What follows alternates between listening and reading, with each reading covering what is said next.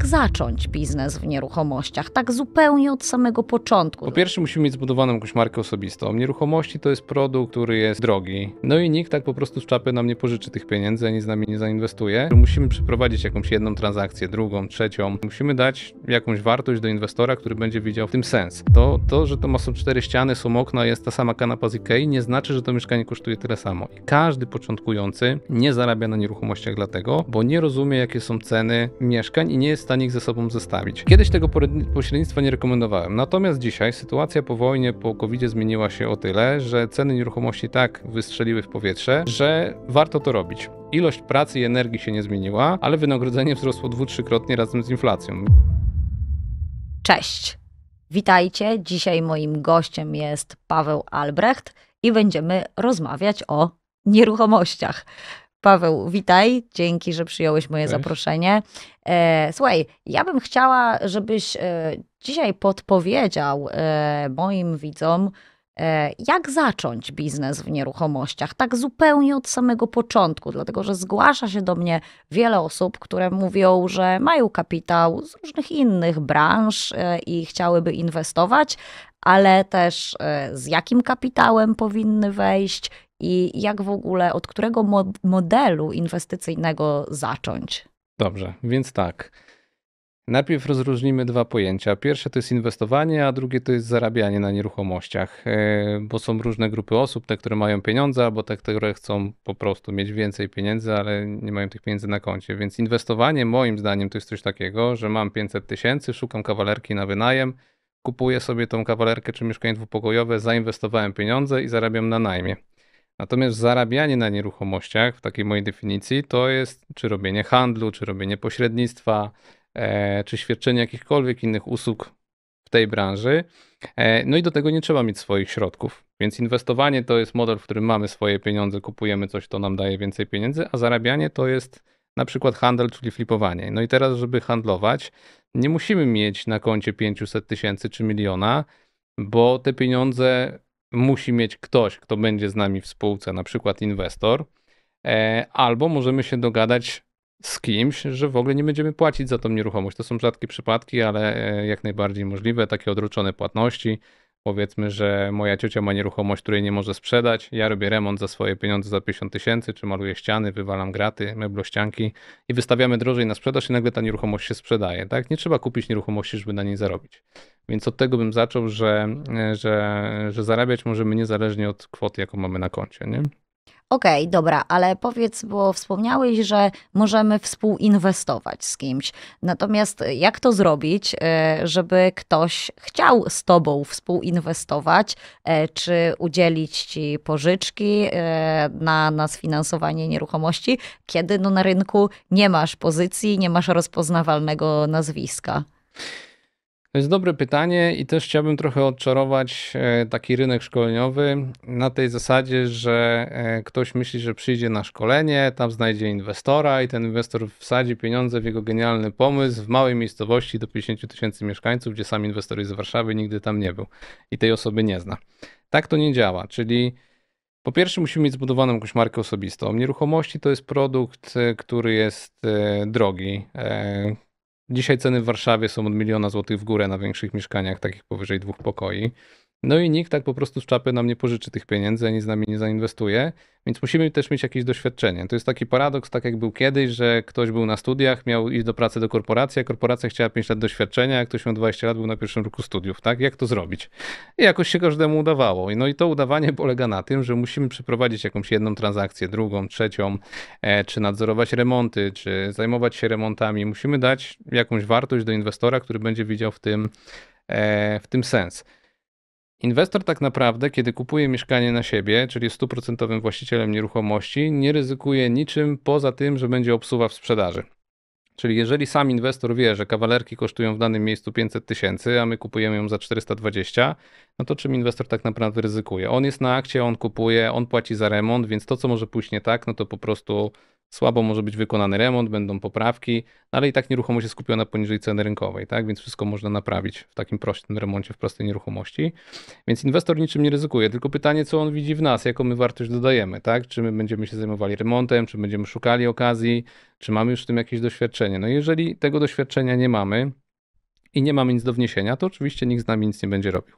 Natomiast jeżeli przykleimy się do kogoś, e, kto ma to doświadczenie, będziemy właśnie komuś pomagać w, w remoncie, będziemy mieli jakieś zdjęcia z realizacji i, i nabierzemy trochę tego doświadczenia, no to potem możemy komuś pokazać. Sam jeszcze nic nie zrobiłem, ale zrobiliśmy razem z Elą trzy mieszkania, tak? No i czy chciałbyś zrobić coś ze mną właśnie w tym mieście, bo to zrobiliśmy w Warszawie, a to byśmy robili tutaj, czy na innej dzielnicy, cokolwiek. No i, i myślę, że na tym to polega, no, że trzeba jakby gdzieś tą maszynę rozpędzić przy kimś, kto już to robi, żeby to doświadczenie zdobyć po prostu. No właśnie, y, a jeśli mówimy tutaj o rozpędzaniu się na rynku, pokazaniu się na rynku, to co uważasz o tym, żeby zacząć na przykład od pośrednictwa w obrocie nieruchomościami? Kiedyś moje zdanie było troszkę inne na ten temat, z racji tego, że więcej zarabiało się na flipach, więcej zarabiało się na sourcingu, no bo sourcing i pośrednictwo to jest generalnie to samo, tylko sourcerzy, sourcerzy po prostu to jest taki rynek B2B, nazwijmy to, czyli można handlować autami dla Kowalskich, albo można handlować busami, tirami, to jest inny rodzaj klienta. Tak mhm. Tak samo jest pośrednictwo, jest do normalnych Kowalskich, sourcing jest bardziej do, do inwestorów, do osób, które kupują hurtowo, więc tych transakcji było jednocześnie więcej, z inwestorami też się prościej rozmawia, te transakcje są szybsze, ludzie są bardziej zdecydowani. E, I kiedyś tego pośrednictwa nie rekomendowałem. Natomiast dzisiaj sytuacja po wojnie, po covid zmieniła się o tyle, że ceny nieruchomości tak wystrzeliły w powietrze, e, że warto to robić. Jeżeli mamy w Warszawie nieruchomości 3-4 pokojowe powyżej miliona złotych, i to jest norma, to nie są jakieś dziwne, drogie nieruchomości, tylko tak po prostu dzisiaj to w Warszawie kosztuje, e, to z miliona złotych 3% prowizji to jest 30 tysięcy złotych netto. Jeżeli bierzemy prowizję z dwóch stron, to jest 60 tysięcy złotych netto. Więc jak oddajemy połowę do biura, to zarabiamy 3 dychy, biuro zarabia 3 dychy, a jak sami, to mamy 60 tysięcy. Oczywiście w liczbach, w rzucaniu kwotami wszystko ładnie wygląda, to jest ciężka praca, którą trzeba zrobić, do tego pewnie dojdziemy. Natomiast e, no 30 tysięcy za otworzenie drzwi, pokazanie mieszkania i wystawiania e, mieszkania no to dom, no to mówmy się, że jest dużo. 5 lat temu, jak takie mieszkanie kosztowało 400 tysięcy czy 450, ta prowizja byłaby e, no tu w tym przypadku dwukrotnie niższa, więc no nie było aż to tak opłacalne jak dzisiaj. Dzisiaj ta ilość pracy i energii się nie zmieniła, ale wynagrodzenie wzrosło dwu, trzykrotnie razem z inflacją, więc to pośrednictwo to jest taki ciekawy zawód, w którym inflacja działa trochę na naszą korzyść do momentu, aż, aż jest ten ruch na rynku. Więc ja bym polecał to osobom początkującym, żeby się tym zajęły. Na pewno nie polecam to ludziom, którzy chcą to porobić przez miesiąc, dwa i zrezygnować, bo to nie, nie da żadnego efektu. Gdzieś y, zarabianie na pośrednictwie to jest coś, co jeżeli chcemy robić, to robimy to długo, bo potem zaczynają do nas spływać polecenia, ta praca jest trochę prostsza, jesteśmy bardziej obyci, mamy jakieś kontakty i wtedy to zaczyna profitować, ale jak najbardziej, jeżeli ktoś chce zarabiać kilkadziesiąt tysięcy złotych miesięcznie, i chce być programistą, no to musi poświęcić lata na naukę. Lata. A jeżeli ktoś chce zarabiać kilkadziesiąt tysięcy złotych na nieruchomościach i nie chce angażować się we flipy, w handel gruntami, budowanie, deweloperkę e, czy zajmowaniem się prawem, sama wiesz, ile musiałaś dowiedzieć się i przejść, żeby wiedzieć to, co teraz wiesz, no to czym tak naprawdę jest praca pośrednika? Otwarciem drzwi, wrzuceniem ogłoszenia i za to dostajemy kilkadziesiąt tysięcy. Plus, o czym trzeba powiedzieć, bardzo męczącym e, takim życiem, które sprawia, że jesteśmy, e, jakby to grzecznie powiedzieć, zatrudnieni przez naszego klienta o najgorszych porach, czyli klient ma czas przed pracą, po pracy, w sobotę, w niedzielę albo w święta, tak? I wtedy my musimy być dyspozycyjni. Więc to nie jest tak, że zarabiamy kilkadziesiąt tysięcy złotych za nic, jednak no, praca jest męcząca Właśnie dlatego. No nie? właśnie, na pośrednictwie można rzeczywiście sporo zarabiać, ale też y, chyba trochę ten rynek się jednak zmienił. Pośredników jest bardzo wielu i za samo takie otwarcie drzwi to niespecjalnie klienci chcą płacić. I jak ty postrzegasz w ogóle to, co się dzieje teraz na rynku pośrednictwa w obrocie nieruchomościami i co w twojej ocenie powinien wykonywać dla klienta profesjonalny pośrednik? Jednym słowem można powiedzieć, że to jest dramat. od wielu lat to jest po prostu dramat. E, ja z racji tego, że mm, byłem w 56 krajach i zawsze w każdym kraju spotykam się z kimś, kto gdzieś mnie zna i obraca się w środowisku nieruchomości i, i tam z nim mieszkam, przebywam i, i rozmawiamy o nieruchomościach, to mam pojęcie, jak to wygląda w innych krajach. Jeżeli ktoś był w Szwecji, w Norwegii, w Danii, to jest kompletnie inny poziom pośrednictwa. W Australii, w Stanach to jest totalnie coś innego.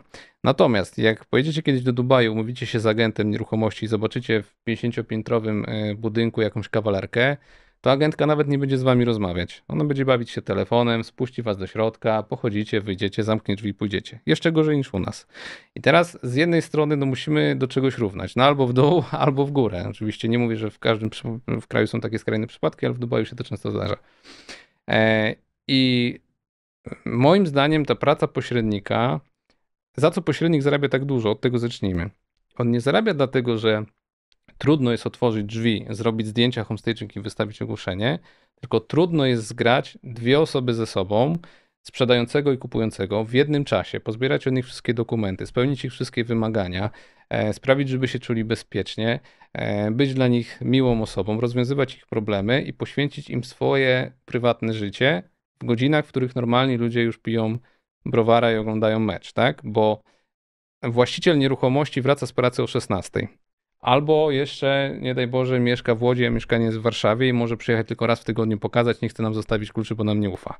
Teraz zgrać kupującego, który chce przyjechać z Kijowa i kupić to we wtorek, a ten może tylko w środę, pojawia się problem. Więc rozwiązujemy takie problemy przez cały dzień i ta wypłata jest sumą tej naszej energii, którą poświęcamy za to, że poświęcamy życie właśnie na bycie pośrednikiem. I teraz dochodzimy do tego, że Ludzie traktują pośrednictwo jako coś takiego, że otwieram drzwi, dostaję 30 koła.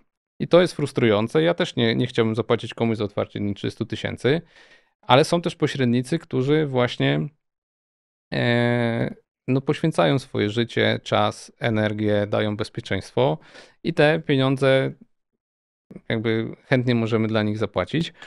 E, jednocześnie wiele osób myśli, że, że można to pośrednictwo robić bez żadnych umiejętności, bez wkładania energii. No i takie osoby często rezygnują i dlatego w tej branży jest taka rotacja. Nie mamy też już e, wymagania posiadania licencji, tylko ubezpieczenie. No i przez to jest jak jest, chociaż jak były licencje też to niczego nie zmieniało. Więc to licencja nie gwarantuje poziomu profesjonalizmu. No niestety rzeczywiście muszę się tutaj z tobą zgodzić, że ten rynek pośrednictwa nie wygląda najlepiej, e, jeśli chodzi o profesjonalizm wykonywanej usługi. E, I niektórzy po prostu, tak jak wspomniałeś, robią to zupełnie dodatkowo. Natomiast to, co koniecznie muszę tutaj dodać od siebie jako prawnik, e, to zawsze pamiętajcie, że jeżeli współpracujecie z pośrednikiem, to zasady współpracy powinna określać umowa. I to jest kluczowy dokument, tak naprawdę zabezpieczający interesy również klienta kupującego, sprzedającego, nie tylko pośrednika, bo tak wiele razy się osobom wydaje i na przykład mówią, że e, a to dobrze, to jak pan, pani przyprowadzi klienta, tak, e, pośredniczka czy pośrednik, no to wtedy dopiero będzie podpisana umowa to nie jest korzystne. No też nikt nie chce pracować za darmo, więc jeżeli chcecie mieć rzeczywiście rzetelnego pośrednika, to pierwszą weryfikacją jego będzie to, czy zechce podpisać z wami umowę i tą umowę trzeba profesjonalnie też sprawdzić, żeby też nie narazić się na jakieś ewentualne dodatkowe koszty, tak, o, o których, które was mogą zaskoczyć.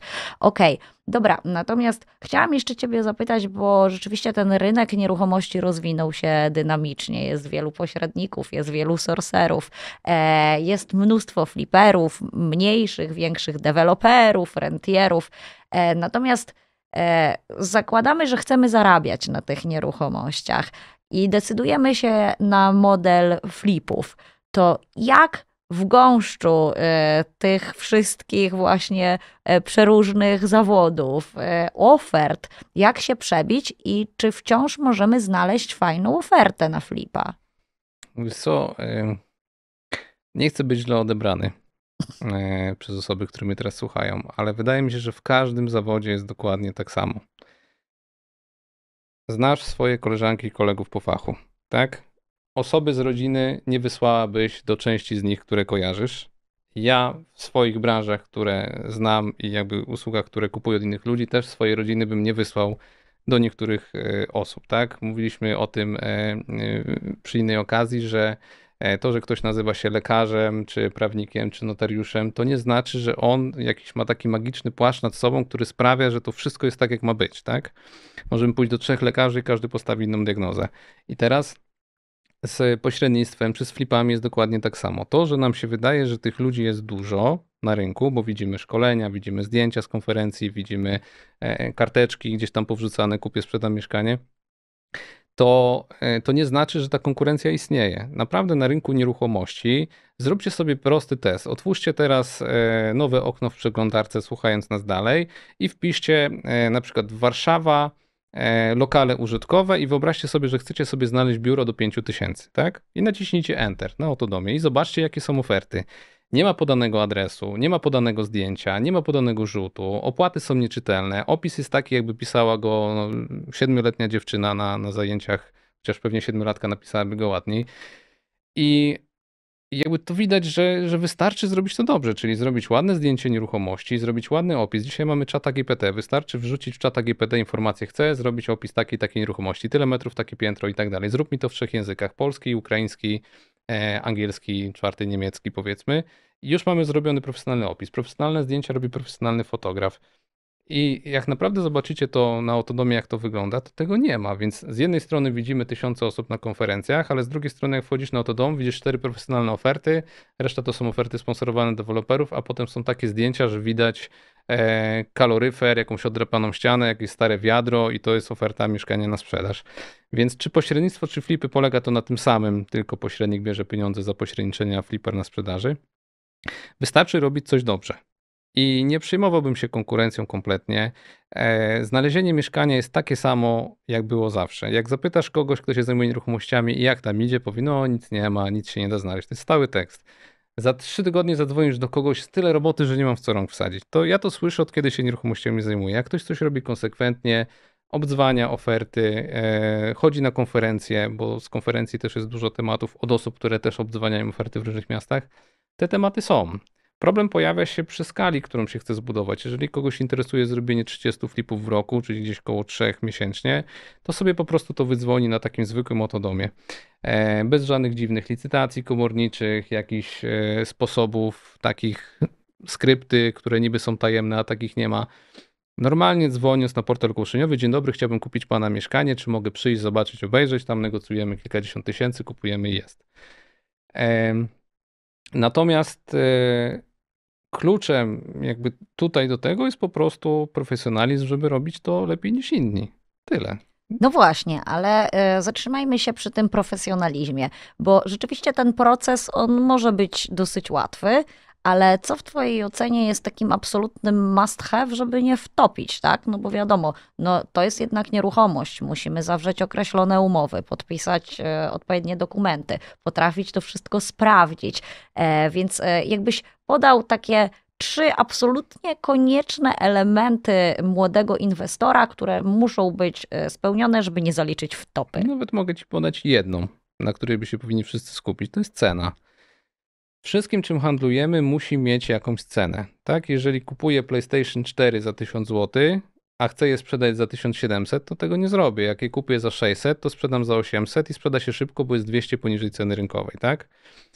I to samo jest z nieruchomościami, tylko z nieruchomościami jest problem tego typu, że one są różne, bo różne jest piętro, różny jest e, blok, znaczy e, usytuowienie bloku względem stron świata, chodzi o nasłonecznienie, e, jest ruchliwa ulica albo jej nie ma, tak? jest kamienica albo jest nowy blok deweloperski i ciężko jest porównać dwupokojowe mieszkanie mojej cioci do dwupokojowego mieszkania mojego wujka, które są w, w dwóch różnych miastach, dwóch innych blokach, na dwóch innych osiedlach.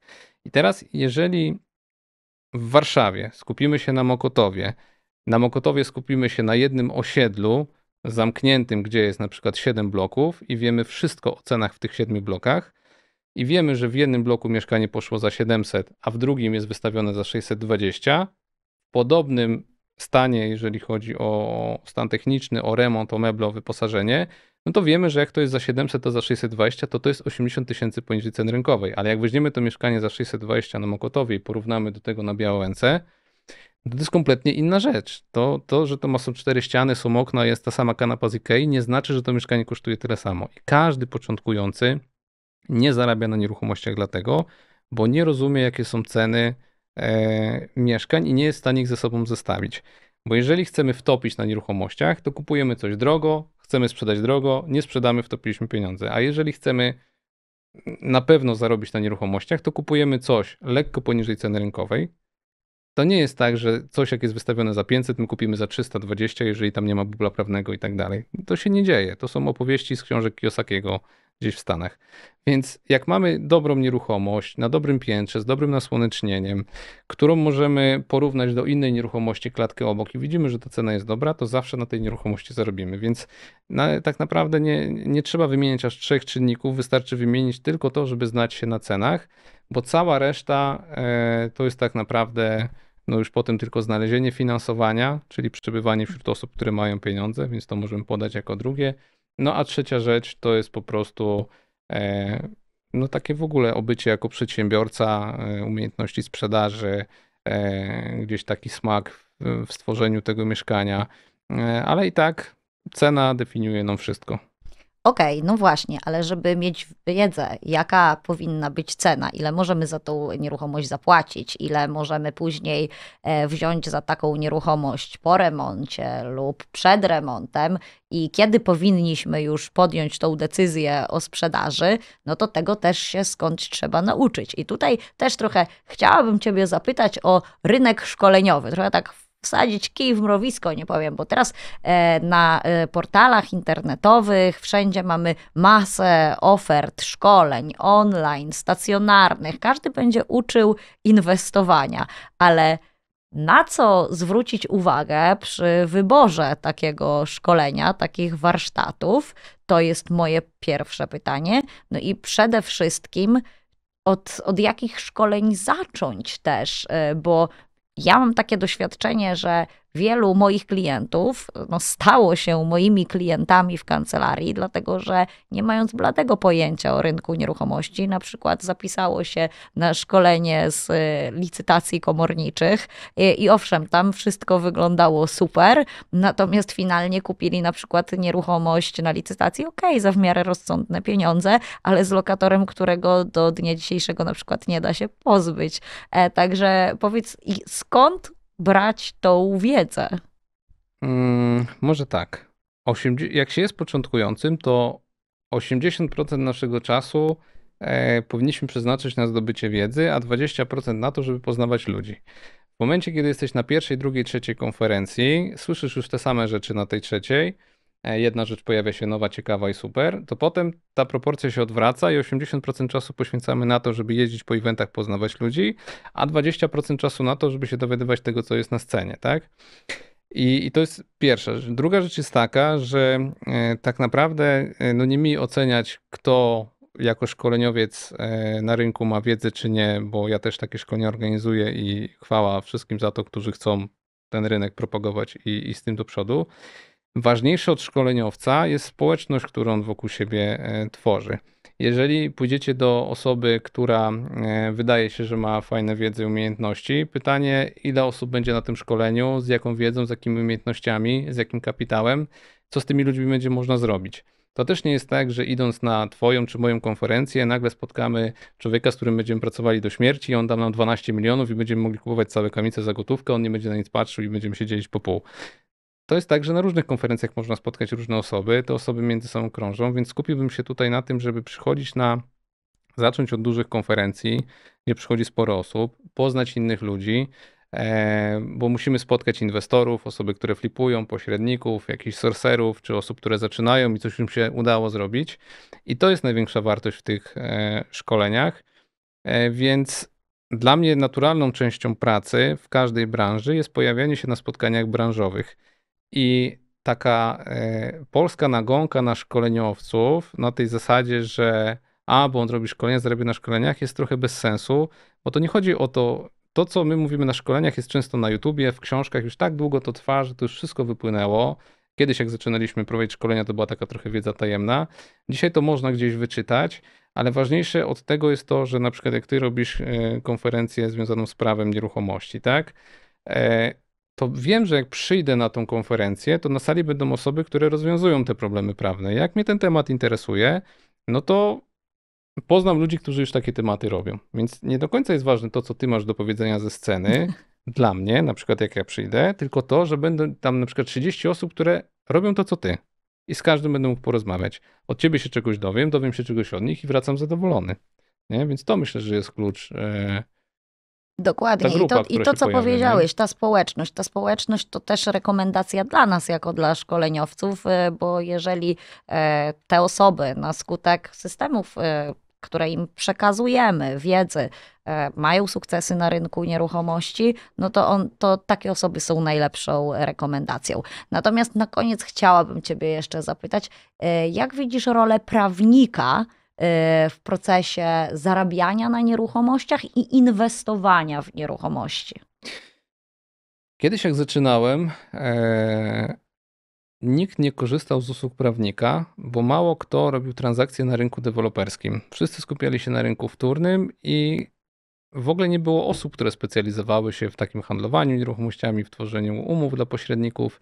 Raczej było tak, że inwestor, flipper czy deweloper był tą osobą, która tą wiedzę prawną posiadał i, i szkoleniowcy tą wiedzę gromadzili, bo właśnie płacili komuś za usługę, jednemu, drugiemu, trzeciemu prawnikowi, zbierali gdzieś tą wiedzę, sprzedawali ją na szkoleniach. Tak się to kiedyś odbywało, że płaciło się za szkolenia, na których się rozwiązywało jakieś problemy prawne z najemcami czy coś. W momencie, kiedy ten rynek się troszkę e, rozwinął, wszystko się trochę sprofesjonalizowało, powstały osoby, które się specjalizują właśnie w prawie nieruchomości, chociaż nie ma ich wiele. Nie ma wiele osób, które się zajmują podatkami w nieruchomościach i nie ma radców prawnych, którzy się specjalizują w nieruchomościach, a jeszcze w ogóle, którzy sami to robią też, tak? Bo to też trzeba rozgraniczyć. I i dzisiaj, moim zdaniem, jak wzrosły tak e, zarobki na nieruchomościach, czyli jak zarabiamy na pośrednictwie 30-40 tysięcy złotych w Warszawie, na flipie 100, 200, 300, 400, to zapłacenie procenta czy jakiegoś tam ułamku, wiesz, no nie wiem, 500, 1000, 1500, 2000 złotych, w zależności od ilości godzin, no jest niczym w porównaniu do bezpieczeństwa, które dostajemy. Problem tylko polega na tym, że tak jak z księgowymi i z radcami prawnymi od nieruchomości, tych osób jest niewiele. To jest myślę, że ten problem. I im więcej tych osób będzie, tym bardziej będzie profesjonalne, znaczy uznane na rynku to, żeby każdą sprawę kierować właśnie do osób, które takie tematy rozwiązują, bo przy skomplikowanych tematach prawnych wiadomo, że idziemy do prawnika, tak? Ale przy zakupie zwykłej kawalerki, gdzie prawnik no jakby za wiele nie ma do roboty, też nie chce podejmować takich rzeczy, takich prostych, wiadomo, że to się nie opłaca, no to właśnie wtedy to, e, to nie funkcjonuje. Ale przy tych bardziej zaawansowanych tematach zawsze szedłbym do, no właśnie, i ja tutaj to, co chciałabym jeszcze Wam powiedzieć, to że bardzo często sprawy, które do mnie trafiają, to trafiają e, na moje biurko dlatego, że mieliśmy trochę taką uśpioną czujność, czyli wydawało się, że wszystko jest ok, że a co to jest za prosta transakcja, na przykład wynajęcie mieszkania za 2000. Po czym okazuje się, że jeżeli nie mamy dobrych dokumentów, nie dokumentów, które ściągniemy gdzieś sobie z internetu, tylko nie mamy, kiedy nie mamy właściwych dokumentów, to mm, za takie 2000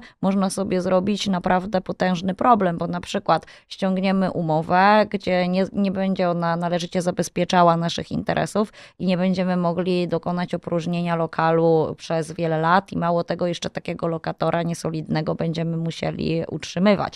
Także w mojej ocenie y, trzeba rzeczywiście y, gdzieś tam, jeżeli nie mamy wiedzy, na ten temat, y, to też y, podjąć się współpracy z takimi osobami, dlatego że lepiej zapobiegać niż leczyć. I na przykład te podmioty, które korzystają z naszego wsparcia prawnego regularnie, to oni w ogóle nie mają spraw sądowych, bo proces jest tak poukładany, e, że w ogóle to ryzyko jest na tyle zminimalizowane, e, że w zasadzie e, tam no, nie ma możliwości, żeby się pomylić. Natomiast jak gdzieś tam właśnie zaczynamy sami, szczególnie na początku tej drogi, rzeźbić, jak to się mówi, no to rzeczywiście czasem nawet przy takiej na pozór prostej transakcji są kłopoty, bo na przykład sprzedamy nieruchomość, a ktoś nam nie zapłaci, albo kupimy nieruchomość, a sprzedawca się nie wyprowadzi i takie. No właśnie, bo, bo może ja trochę patrzę przez swoje oczy, e, bo zawsze działałem w zespole, który miał pojęcie, co robi. Ja zawsze byłem tym najmłodszym, który się uczył od wszystkich. Jakby, gdybym zaczynał na początku, no to tak naprawdę e, jest tak niewielka kwota za opinię prawną, żeby ją zasięgnąć, że warto to po prostu zrobić i tak nabierać doświadczenia. Pamiętajcie też, że pośrednik, jeżeli widzicie pośrednika i myślicie, że pośrednik wam zagwarantuje bezpieczeństwo transakcji, to jest nieprawda, bo pośrednik często ma mniejsze pojęcie niż wy, taki przypadkowy z łapanki na rynku i on i tak, e, a raczej właściciel biura, w którym on pracuje, korzysta z usług prawnika. Jak on czegoś nie wie, to mówi, że się dopyta, tak naprawdę piszą do prawnika i równie dobrze też tak możecie e, zrobić, więc nie wierzcie w to, że pośrednik jest jakimś wielkim gwarantem bezpieczeństwa, to ten prawnik, z którego on korzysta, jest tym gwarantem, więc sami też to e, możecie zrobić. To uwaga dla osób, które chcą same gdzieś bez pośrednika to też zrobić. Słuchajcie, z naszej strony to chyba wszystko.